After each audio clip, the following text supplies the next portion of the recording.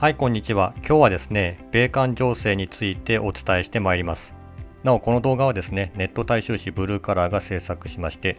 YouTube にのみ投稿している動画であります。YouTube 様におかれましては違法な通報による動画の誤削除など内容にお願い申し上げます。で先日のですね米韓首脳会談におきましてまあ、韓国ムン・ジェイン政権のですねワクチン外交ということが話題となりました。そしてその米韓首脳会談においてバイデン政権はアメリカ韓国軍55万人にワクチン提供へバイデン氏が首脳会談後発表。バイデン米大統領は5月21日韓国のムン・ジェイン大統領と会談した後に記者会見を行いアメリカ軍と密接に協力する韓国軍要員55万人にワクチンを提供すると発表した。こういうことがありました。でこれはですねアメリカバイデン政権として在韓米軍ですね米軍を感染から防ぐという名分もありまして米韓同盟の緊密な関係米韓同盟を強化するという観点からの位置づけということでありまして、まあ、そうした経緯の中で韓国軍55万人へのワクチン提供が決まったということでしたそしてこのバイデン政権の決断の背景ということには、ま、当然ですね8月に予定されていると言われております米韓合同軍事演習が視野に入っているということだと思います。つまりはですね、在韓米軍の軍人はほぼ全員がワクチン接種済みということでありますので、あとはですね、韓国軍55万人にワクチンを接種すれば、感染の可能性ということはさらに極めて低くなり、そうしますと、米韓合同軍事演習というのは現実的になってくるということだと思います。で、この米韓合同軍事演習ということに関しましては、アメリカはですね、今までムン・ジェイン政権に実戦形式の演習ということを打診していた経緯がありましたが今回のパンデミックを理由にですね、まあ、消極的な姿勢をムン・ジェイン政権が示していたということがありました。ですので今回バイデン政権としても韓国軍へのワクチン供与を決めたとする分析があります。しかしですねこの米韓首脳会談後ムン・ジェイン大統領から注目すべき意思表明がありました。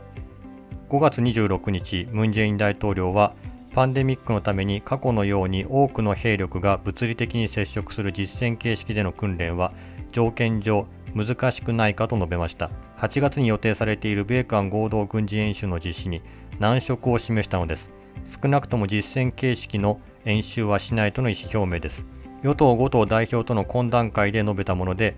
発言は連合ニュースのムン大統領パンデミックで大規模な実戦形式での米韓演習は難しくないか5月26日韓国語版から翻訳しましたというふうに報道されております。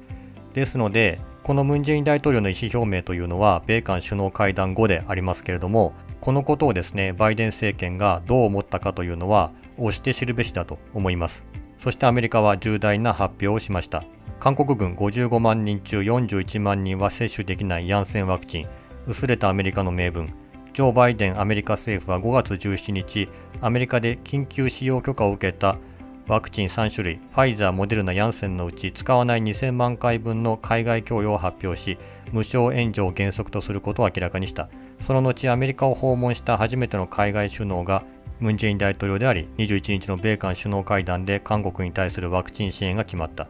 アメリカは4月カナダとメキシコにアストラゼネカワクチンを支援するときはスワップのような概念である。レンタル形式を採用したが韓国には無償寄贈方式を取った。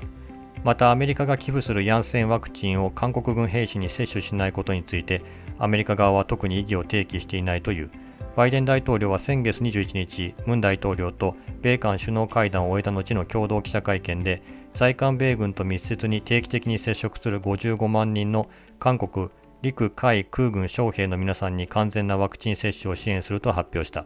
経済的に余裕もありパンデミック拡大状況も相対的に深刻ではない。韓国にワクチンを支援する名分として在韓米軍と接触する韓国軍55万人の早期接種を前面に出した。バイデン大統領は彼ら韓国軍のためだけでなくアメリカ軍のためにとワクチン支援の背景を明らかにした。だがアメリカがヤンセンワクチンの支援を決め韓国はヤンセンワクチン接種年齢を30歳以上に勧告していることで、結果的にこの名分を守ることが難しくなった。韓国保健当局がヤンセンワクチン接種年齢をアストラゼネカと同じく30歳以上と勧告したことから、30歳未満の軍人41万人が接種対象から除外されたためだ。アメリカ食品医薬品局はヤンセンワクチンに対して接種制限年齢を設けていない。米韓首脳会談後バイデン大統領がワクチン支援を発表した時ですらアメリカはファイザー、モデルナ、ヤンセンの3種類ワクチンのうちどの製品をどれだけ韓国に支援するか通知していない状態だったというただですね、まあ、韓国の保健当局がヤンセンワクチン接種年齢をアストラゼネカと同じく30歳以上と勧告していることをアメリカバイデン政権が知らないということは考えづらいと思います。ですので、ムン・ジェイン大統領がですね、5月26日、米韓合同軍事演習への消極的な姿勢を見せたことが、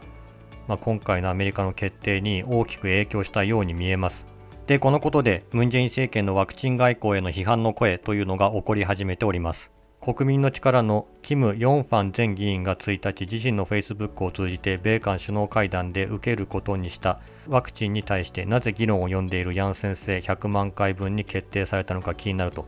ジョー・バイデンアメリカ大統領とムン・ジェイン大統領に公開質疑したキム氏はどのような手続きでヤン先生100万回分に決定されたのか国民に詳細に明らかにしなければならないとして疑問を提起したキム氏は5月21日、米韓首脳会談と5月30日、ヤンセン提供の意思表示期間に何があったのかとした。我々はアメリカから無償でワクチンを受けるというわけではない。正当な対価を支払って買うということだ。44兆ウォンという投資を約束して侮辱される必要があるかとした。米韓首脳会談後ですね、ムン・ジェイン大統領のワクチン外交ということにつきましては、韓国内からもですね、44兆ウォンアメリカに投資して55万人分のワクチンを確保したと。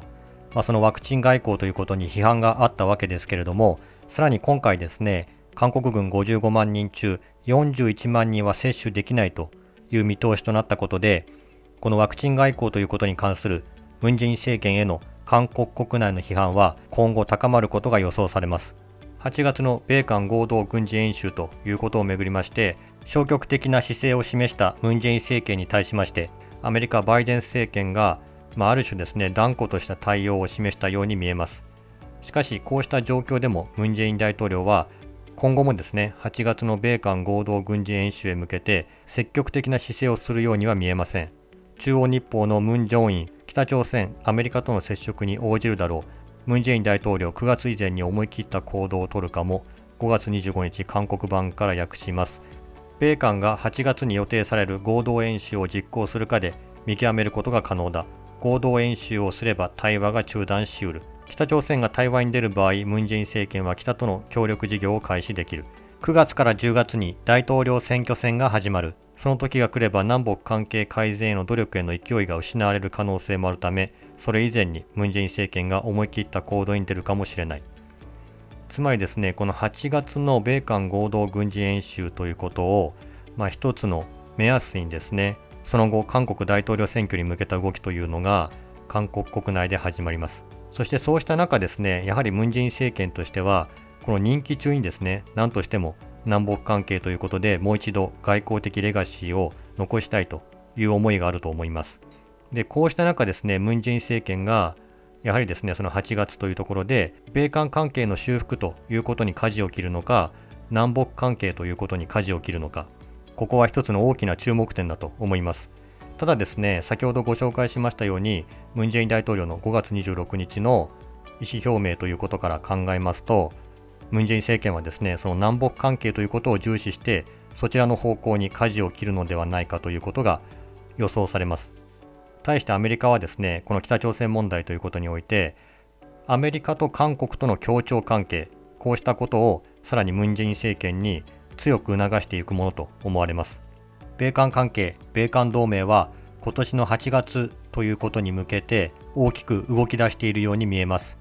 ありがとうございました。